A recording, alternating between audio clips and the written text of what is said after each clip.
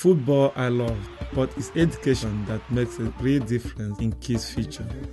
Too many of our young people drop out of school.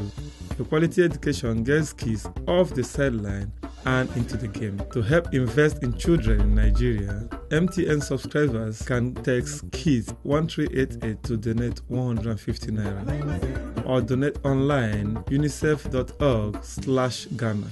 Quality education for all Nigerian children.